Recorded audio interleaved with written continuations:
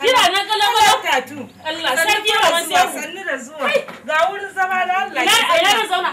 Ga wurin zama taburma? Bari in zauna kazantar nan ba. Eh? Kazanta? Haba maman sai ga bola, ga fo, ga murhun girki, ga gurin wanke-wanke.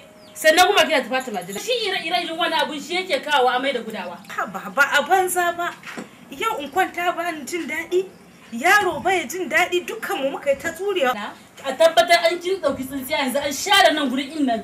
Sannan ki kira yaro ki ɗora mai sharar nan ya je shi yanzu ba. Amir! Amir! Na na ka shiga da so ga sharar nan da Allah. A ji a zubar mana ko? Amma ina ran zubar. Duk inda ka samu ka zubar kawai abin ka dana ka je ka dawo. Ah! Maman Sehu! Na? Ban ga kin zai ta inda ya sa bai je da shara ba ku da ma'adanan shara ne. Ba mu da shi, mu haka muke yi. A gaskiya maman Shehu bai maman Sehu bai yi ba. Ya za a yi kuma a ce a je a da shara kin san kuma shi shara da zai toshe magudanin ruwa.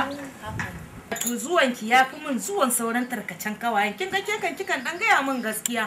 Wannan sako ne daga Development Exchange Center DEC da tallafin Bread for the World ta ƙasar Jamus.